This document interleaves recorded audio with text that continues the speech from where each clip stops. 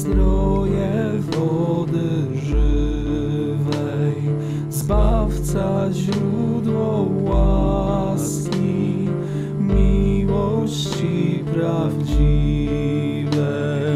Odszedł pasterz nasz, co ukochał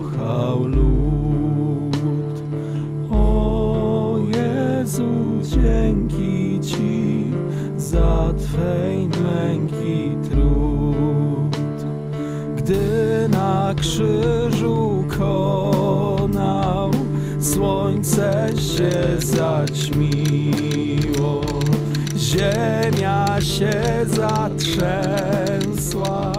wszystko się spełniło. Ten dźwięk to kołatki.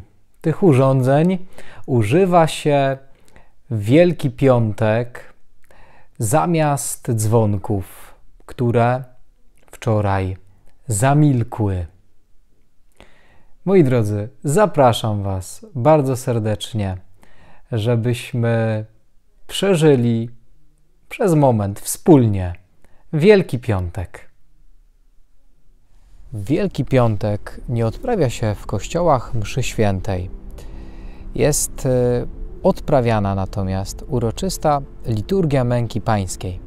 Na początku tej liturgii ksiądz kładzie się krzyżem na posadzce kościoła.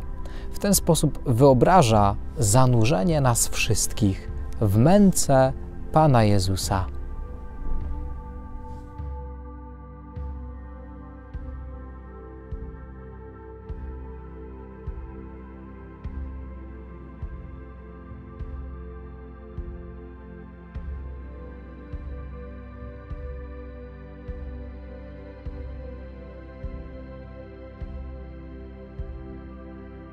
Zapraszam Was teraz do wysłuchania Ewangelii o męce i śmierci Pana Jezusa w wersji rymowanej. Tak, żebyśmy postarali się sobie wyobrazić, jak to było wtedy, dwa tysiące lat temu. Pana Zbawiciela świata sprowadzono do Piłata.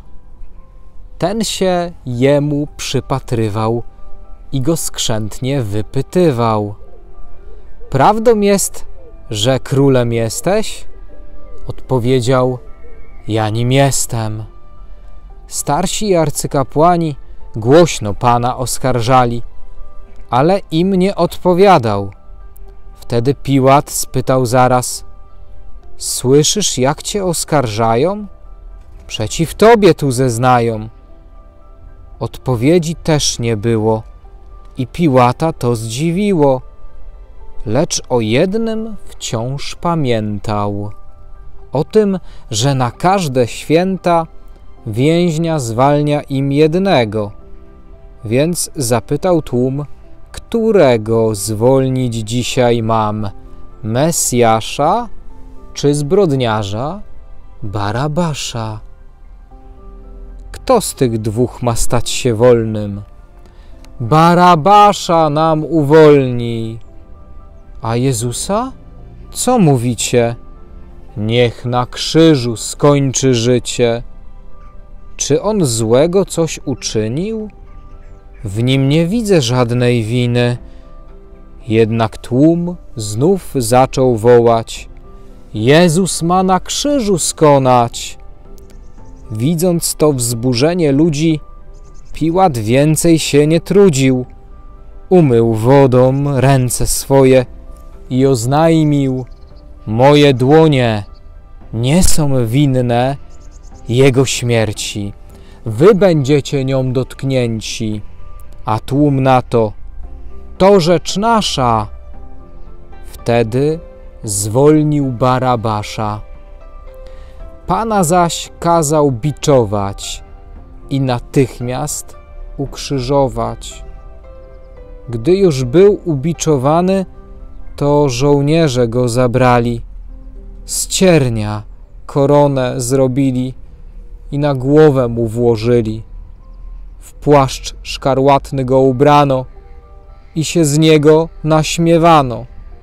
Dali mu do ręki trzcinę i przez bardzo długą chwilę Jezusowi dokuczali, a klękając tak wołali: Witaj nam, królu żydowski, witaj pomazańcu boski.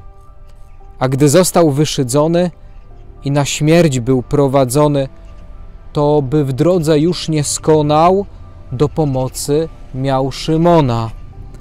On to właśnie pod przymusem krzyż nieść musiał wraz z Jezusem.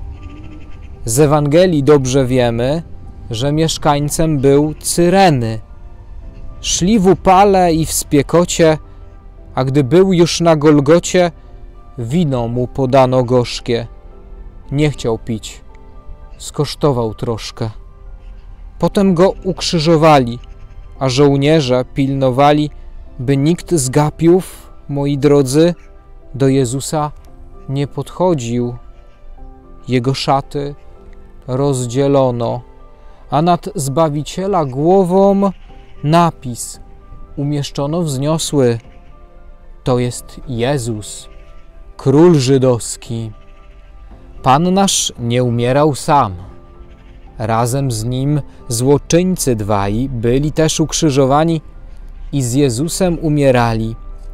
Ci, co obok przechodzili, przeklinając go, mówili: Ponoć przeciw Bogu bluźnisz i świątynię chciałbyś zburzyć, by w trzy dni ją odbudować. Czemu nie chcesz się ratować? Starsi arcykapłani też się nad nim wyżywali. Jest on królem Izraela? Niechże z krzyża zejdzie teraz. Wtedy w niego z tej przyczyny ostatecznie uwierzymy. Miłość Boża pewnie sprawi, że Bóg z krzyża go wybawi. Opowiadał wszak z przejęciem: Synem Bożym przecież jestem. Gdy wybiła już dwunasta, mrok na trzy godziny nastał. A w ten dzień, jakby nie było, słońce mocne dość świeciło. Jezus bardzo długo konał, a na koniec zaczął wołać z głębi swej cierpiącej duszy: Boża, czemuś mnie opuścił? Ci, którzy przy krzyżu byli, bardzo temu się dziwili, mówiąc wzajem tak do siebie: Chce Eliasza mieć w potrzebie. Może Eliasz cud dziś sprawi i od śmierci go wybawi? Ale Jezus już nie słuchał. Krzyknął i wyzionął ducha. I zasłona w tejże chwili aż rozdarła się w świątyni. Ziemia mocno się zatrzęsła. Skały też zaczęły pękać. A po zmartwychwstaniu Pana inna rzecz się jeszcze stała. Z grobów święci zmartwychwstali. Wszyscy bardzo się ich bali. Grobu wojsko pilnowało. Widząc, co się wokół działo, zlękli bardzo się żołnierze i wyznając strach swój szczerze, tak mówili: Ten, co skonał, był prawdziwie synem Boga.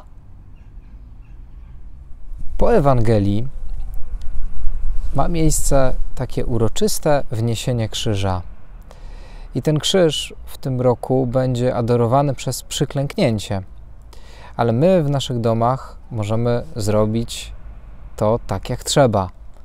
Czyli oddać cześć Panu Jezusowi, całując krzyż, przytulając się może nawet do Niego myśląc o tej wielkiej miłości Pana Jezusa do nas.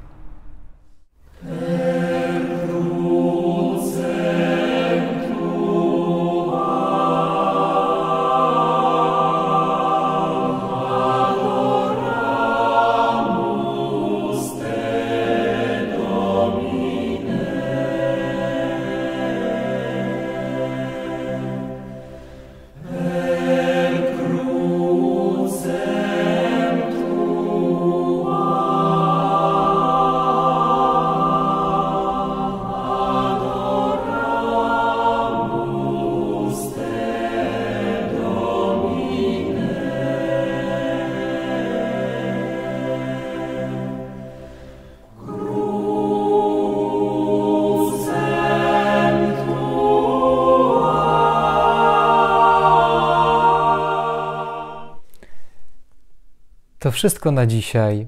Życzę Wam Bożego, pięknego, wielkiego piątku razem z krzyżem, który ucałujcie, przytulcie z wdzięczności do Pana Jezusa za dar zbawienia, które nam wysłużył. Niech Was błogosławi Bóg Wszechmogący, Ojciec i Syn i Duch Święty. Amen.